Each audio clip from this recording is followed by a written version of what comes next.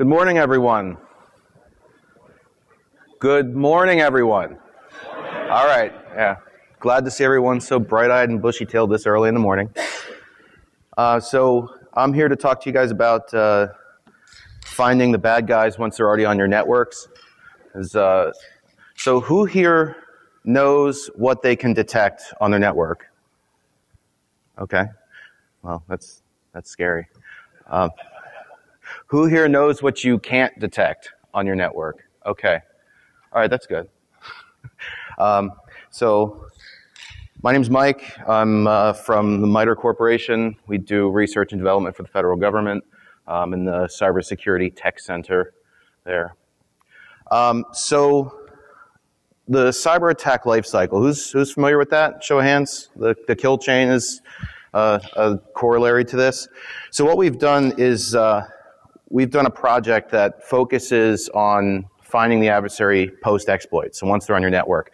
The most recent Mandiant or uh, FireEye M-Trends report showed that an adversary is on your network an average of 146 days before they're detected. Now, if you uh, think about previous years, that's an improvement, but they broke down the statistics a little bit this year from whether it's detected internally or externally. If you find it inside your network, you yourselves find it, you're looking about 56 days on average that the adversary is there if they're detected. But if you're notified from the outside, let's say your ISP or somebody from the outside world says, hey, there's something weird going on on your network, it's about 320 days. So just think about how long it takes for one of your IT guys to get onboarded, learn your network, and start to get to work. Um, that's essentially the same kind of onboarding that an adversary would have. So what we've done is we've done a lot of research, both with our government sponsors and by reading industry reports and working with industry to come up with an adversary behavior model. And so we've, we've uh, looked for the post-compromise techniques that the adversaries use, and we've created something called ATT&CK, um, which is uh, called Adversary Tactics and Techniques and Common Knowledge. Um, and what we've done with that knowledge is we fed it into enterprise defense by understanding what data sources we needed to create analytics and then prioritize based on, on uh, what our threats and, and risk exposure is. So like I said, we, we broke down the cyber kill chain, the last three elements into 10 tactics, uh, as you can see there. Um, so we found that just looking at the cyber kill chain, it's not granular enough to be able to point to a single element on it and give a good description of what happened. Um, and and also that there's really not a common language that's used by the report writers and the the uh, the forensics groups that do go in there and do the postmortems after a compromise. So we focus on not describing using the tools that the adversary uses, but the behaviors and the actual techniques that are used. And we've worked with world-class red teamers and blue teamers to expand this, this knowledge base. So back in 2014, this is what it started out looking like. It expanded to this in 2015, and now it's this monster right here. Um, so as you can see, we've got the 10 tactic, tactics across the top, and we have 120 plus techniques that we've described. So the, the model consists of the uh, tactic phases as they're, they're derived from the kill chain or the, the life cycle.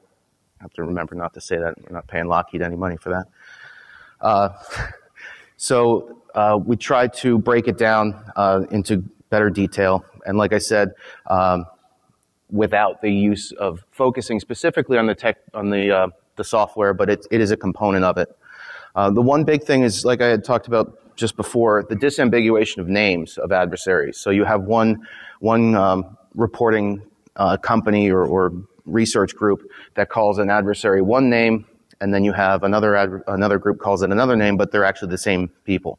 So what we've done is we've grouped all those together in in a MediaWiki type format so that you can search and pivot and associate one with another. So here's an example of one of the techniques for creating a new service. Um, every single attack technique has a description, the platform, the permissions, uh, detection strategies, mitigation strategies, all of the sources that we use uh, that you can use to detect it. And the, that's where the examples are here, the software and the groups that have been known to use it. And we also link to CAPEC, which is, uh, it provides even more detail about that specific technique. Uh, it's an external source as well. So here's an example of what a group page would look like. Again, we give a description, and then the aliases are where it all comes in, uh, where all the, the associations come in. And then we can, because it is, like I said, MediaWiki, we can pivot amongst um, the different techniques, and they all link to one another. And then here's an example of software. As you can see, it's, there's some good information. And like I said, every single element within the attack framework has descriptions like this. So some of the use cases for this that we've used and we've, we've worked with our sponsors on using it for is identifying gaps in your current defenses, both from a sensor capability and from a, an analytic writing, writing capability. Uh, you can prioritize your detection once you get a profile of, of what your, your uh, posture looks like. It's also good for threat sharing and information sharing. So if you observe something that's happening on your network, you can highlight the, the techniques that are being employed on your network if you're able to detect them and share them with your analysts, share them with your uh, industry groups, share them with the other, uh, the other SOCs that you might be working with. It's also great for simulations and exercise. That's actually how this got its start. Our, uh, our white team or purple team lead came up with this uh, this model so that we could test our analytics and our sensing capabilities uh, in a more scientific way so that we weren't just selecting things at random or being incomplete with our testing. And I'll get to the, uh, the red team, blue team events that we did in a little bit. It's also good for research about uh, looking into more details about what an adversary is employing and, and even thinking about new and interesting ways that that adversaries can behave that aren't on this, this spreadsheet. We are taking submissions for this. So here's a, what your matrix might look like after you've done some analysis on your network, worked with your vendors to see what your security posture looks like. Where red is that you have no confidence that you're able to detect anything. Yellow means you have some level of confidence you can detect some actions. And then green means that you're pretty confident that you're going to be able to see what an adversary is doing. Now, this one looks pretty crappy. This is if you just have perimeter defenses. Like you've got your internet connection going out to the world, you've got a tap on it, you're getting PCAP, you're doing IDS alerts, you're doing rip and inspect SSL. You know, you can have the most robust perimeter security, but if that's all you're doing, this is what you're, what you're able to, to detect. Because you don't have that level of granularity.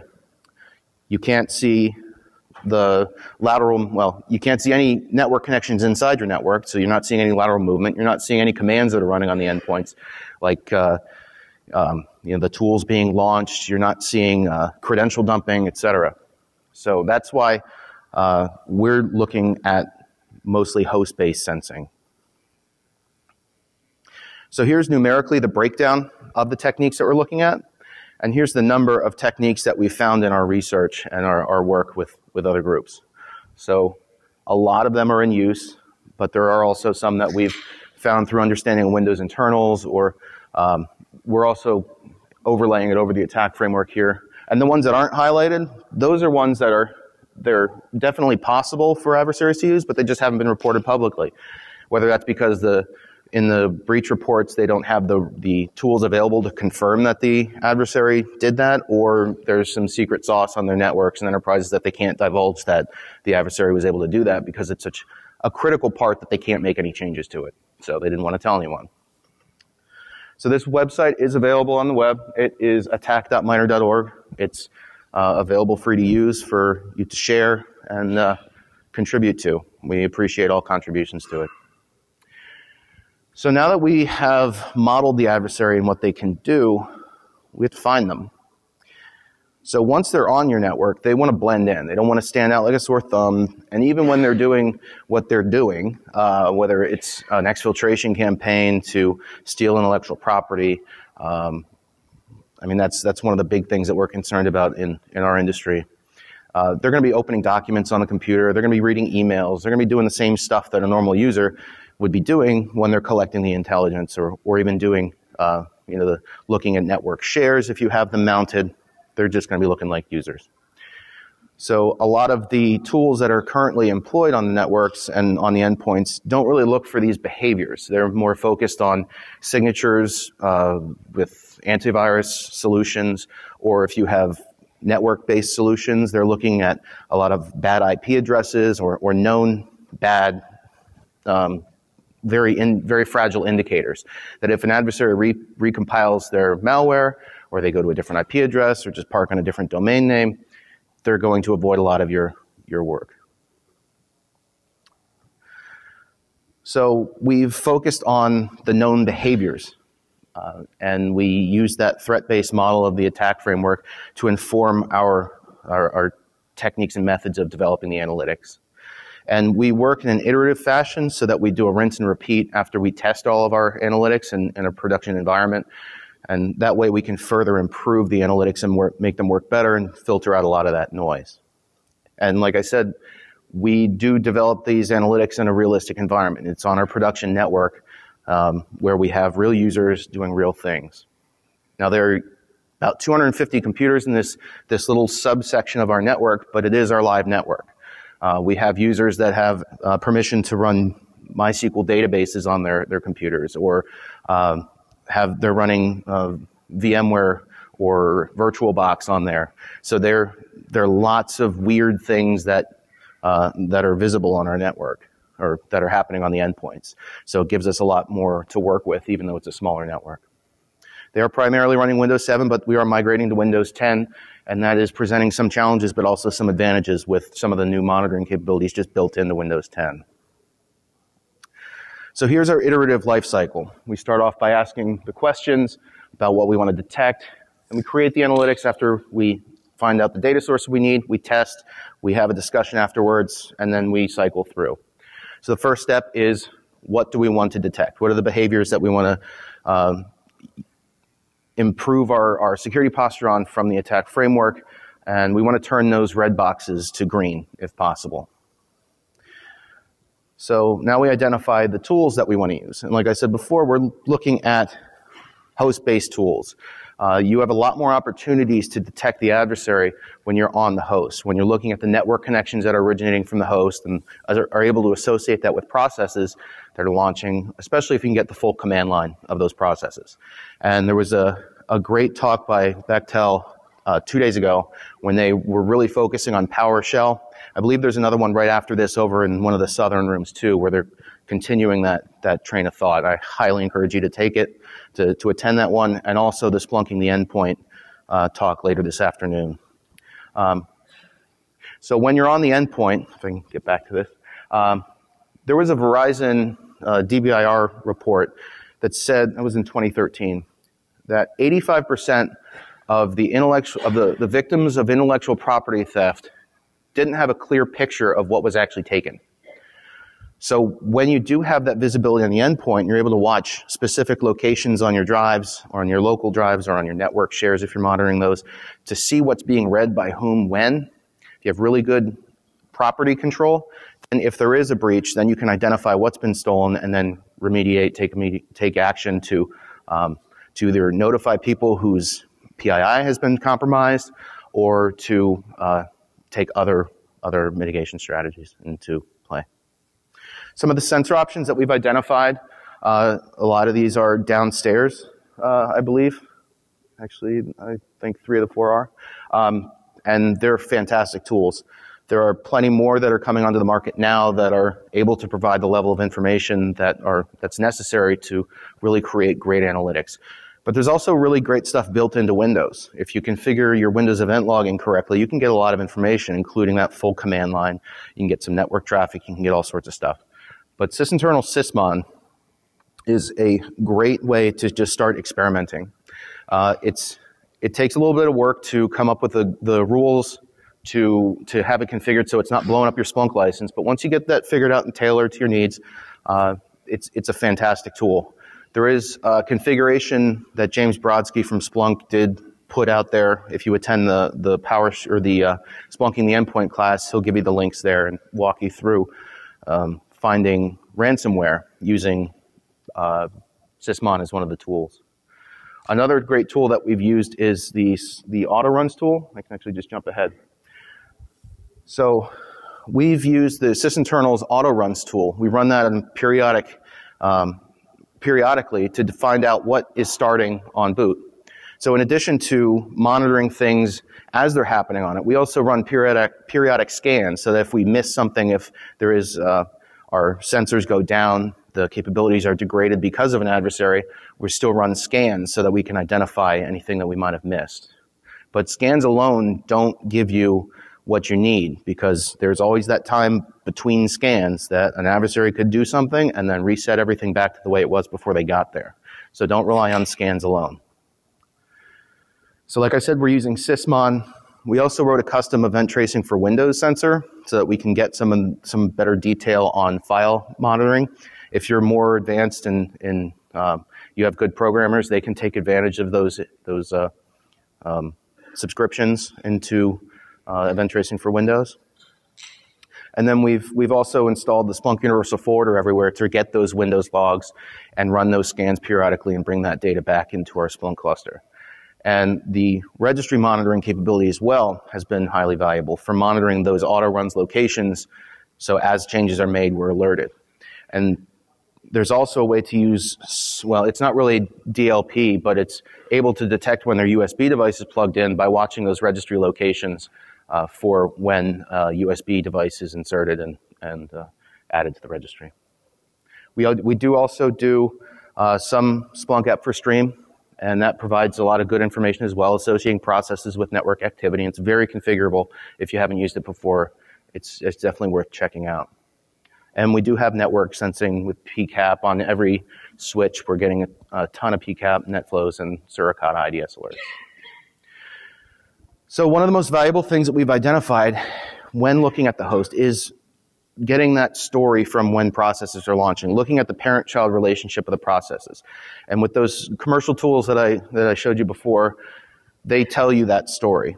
So if you're living in a vacuum and you're only looking at one process launch at a time, you're not going to get the full story. So command.exe in of itself is not bad. If you want to check your IP address on a Windows machine, you launch uh, command and you type ipconfig and see your IP address. That's not bad. Um, and that story would be told by Explorer launching command.exe.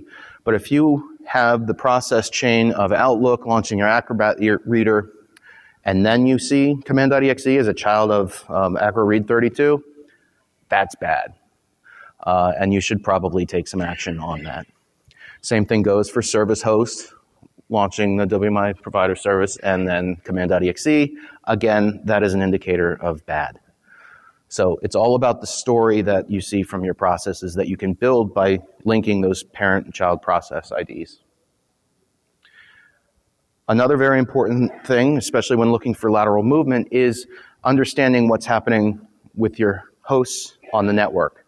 So we look for a host-based tool that can provide the normal metadata on network connections with source and destination IP and ports, protocol information, and even the message contents of uh, SMB2 messages, which uh, Stream does provide, and uh, also uh, a custom tool that we wrote that actually uses um, some capabilities of Wireshark. Um, but when you have the ability to see what processes are connecting to the network, you can then pivot between better host-based sensing uh, tools that give you the, the hashes of those processes that are launching and, and any other forensic or um, host process-based security tools that you're using. And then also to your network side. So if you have several layers of NAT in your enterprise, you can then use that IP and port information to trace it as it goes through uh, in and out of your network.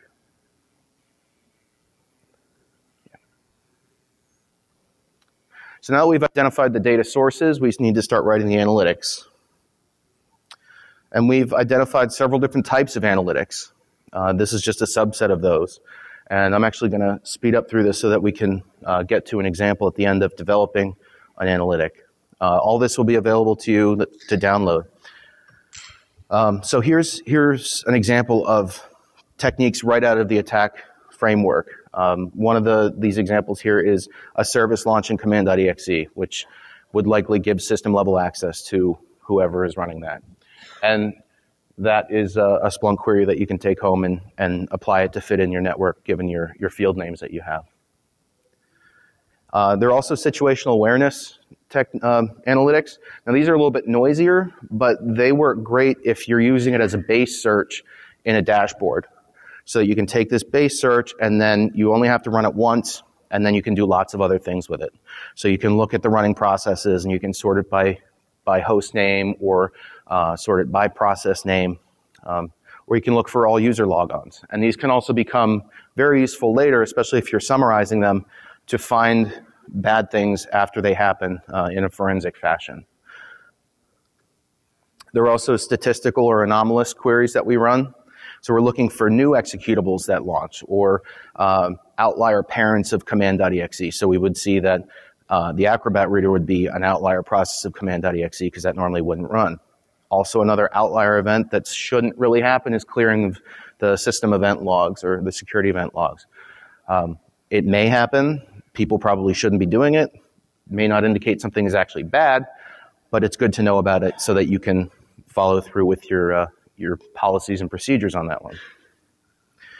And now we have the forensic analytics. So once you know something bad has happened, you can take a lot of the situational awareness analytics and tailor them down to focus on a specific host, specific user, or specific um, area of your network to look for more information. So if there is a credential dumping that you observe on your network or on, on, a specific endpoint, you can go back to the situational awareness analytics, tailor it down to that specific machine, and find out which users had logged on since that computer last restarted to know the scope of your compromise, of which credentials were, were stolen so that you can then continue to look for when those users logged into different assets after that compromise. Okay. So what we've done is we've collected those analytics that we've been able to get through our public release process, and we've posted them on the web. Uh, every single analytic that we have has a description, categorical information, the association with the attack framework. We've done pseudocode with it so you can apply it to whichever security tool you're using. And we also have unit tests for some of them as well to show how you can test the, the uh, efficiency and effectiveness of those those analytics. Uh, so that's available um, at car.mitre.org. Um, we are taking lots of submissions, and uh, we're happy to, to share that with you as well. So implementing those analytics. As you saw before with the, the Splunk query that we had, it, we had event types, we had uh, field names that you probably haven't seen before, uh, even within the, the common information model. What we've done is we've, we've created our own data model for identifying actions on the host.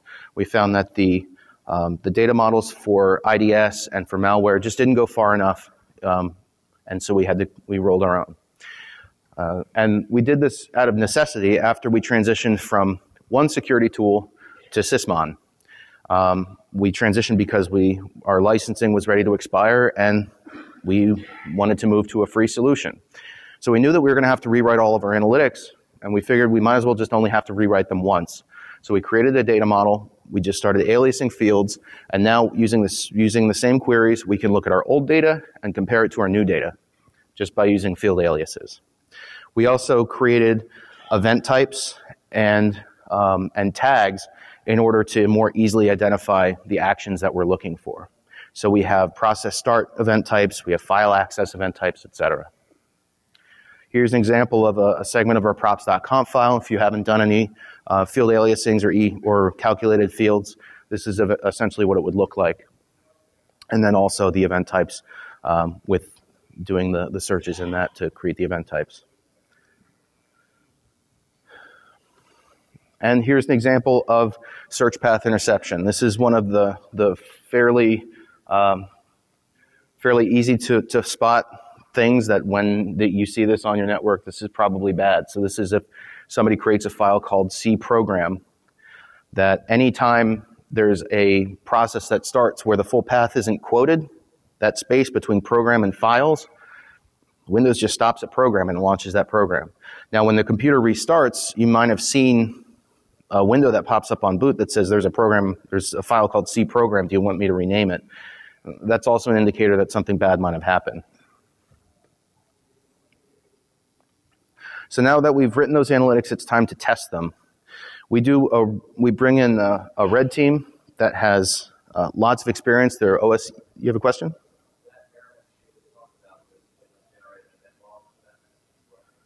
I'm not sure. Do you know? The question was uh, whether or not uh, Windows generates an, uh, an, entry in the event log if there is that detection of uh, C program. Did you have a question, sir?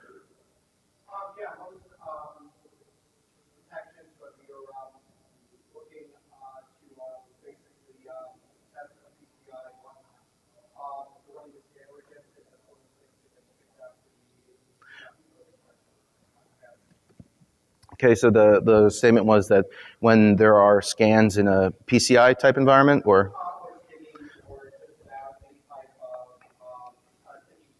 Right.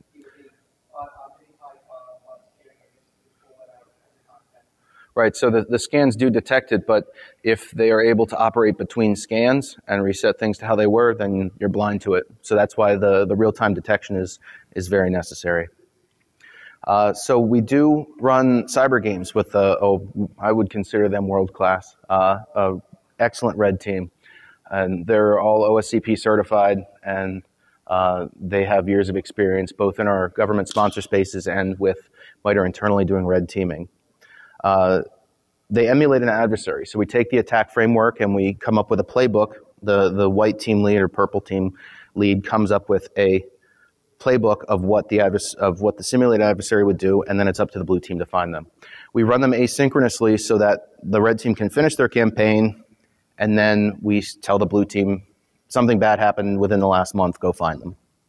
Uh, they're designed to push the analytic boundaries, to test our analytics, to push them to that next level, to challenge our analysts to develop even better analytics, filter out that noise, and so on. So after that event happens, then we sit down, we have a hot wash and find out what did the red team, or what did the blue team miss that the red team did. Um, and focusing on credential theft, uh, we've gotten a little bit better. Uh, so this, we've run 13 cyber games from 2013 to 2015. Um, and we've, we've done more since then, but this was um, using internal MITRE red teams. We've since started working with our government sponsors for them to, to also participate in these events. Um, but we've, uh, the, the green means that we detected the, the hosts and the credentials that were detect, that were stolen. Uh, the red means that we didn't detect it, and the yellow means that we didn't detect it, but it was just a failed logon. Uh, so as we progress throughout the years, we've, our detection rate has improved because our analytics have improved. Because if we don't detect something in that, that first red team event, they try it again to see if we've improved. All right. So let's run through an example of, of how you would create an analytic. Okay, so you, let's say that we're looking for uh, suspicious commands because we don't have uh, any sort of detection on, on commands that we know to be bad. So we, we see that uh, in the attack coverage, it does cover several different tactics throughout the, the chain or throughout the, the attack framework. Uh, so it, it, has a very high return on writing that, that analytic. So we, are choosing to use Sysmon because it's installed in our, our, environment and it provides that command line level view into what processes are, are starting. So here's some obfuscated Sysmon and so one of the examples that we're looking for is net.exe. You can see it highlighted here. This is a, a Splunk query that if you uh, have your event type set to process starter, replace that with whatever you're using, you should be able to uh, detect here. Now, if you're not creating a calculated field for exe, you can always do star uh, backslashes and then that on your uh, your uh, uh, I guess that would be not your command line, but your image path field.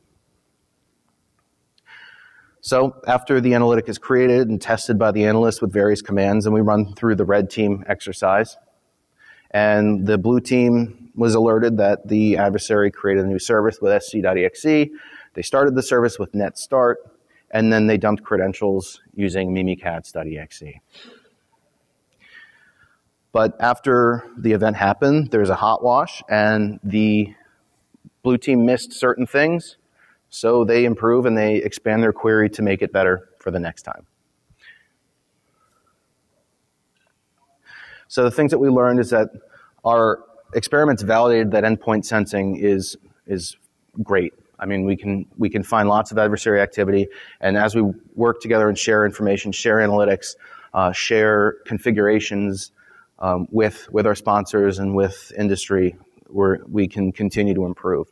Uh, so that's why we created the ATT&CK framework and published it, and the cyber analytic repository and published it, so that we can help everyone improve their security posture throughout the the uh, the cyber world, if you will.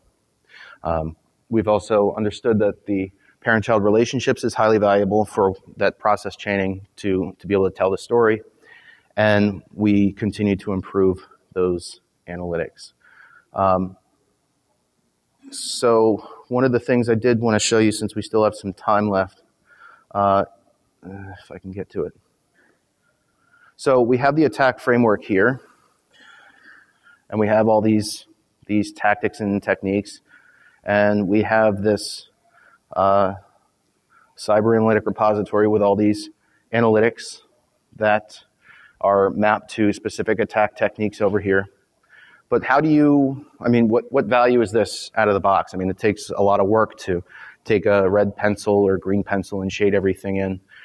So what we've done is we've created this tool. It's called the CAR Exploration Tool, and we've made this available as well. It's car.mitre.org slash caret. And if you're, if you've implemented any of the analytics in your environment that are on CAR, you can select them and you can overlay them over the ATT&CK framework to see what your posture would be in the, in the network on your, your endpoints. So in this view, you can also select specific adversaries that you might have experienced uh, incidents from in the past where you're curious about it because you've heard in the news that this group has been you know, attacking an industry like yours and you're at risk because of the work that you do, you can overlay the techniques that have been observed by that adversary onto the ATT&CK framework as well and overlay it over your, your security posture. So this is a tool that we've made available that, um, that we hope people can get some value out of as well. Um, so that's, that's what I got. Are there any questions?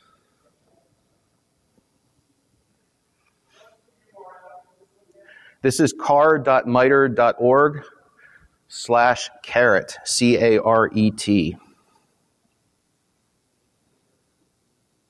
So, Mike, I have a question. Yes. Um, the data in CAR, is that uh, live updated based on stuff that you're pulling out of your threat intelligence and keeping it updated for those groups? Or is that a periodic update? it is. It's periodically updated.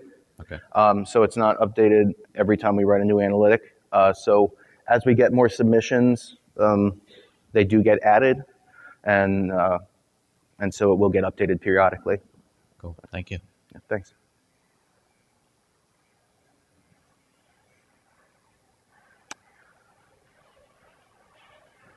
Okay. Oh, you got a question? Yeah. Do you have any examples of uh, ETW samples that you might have created for this purpose? Event tracing for Windows samples? Yeah. Uh, not in this slide deck. Um, but um, we we have created a tool that does hook onto the some of the the providers. Um, I don't think I have it in the backup slides either. Um, but come, we can talk afterwards, maybe. Yes.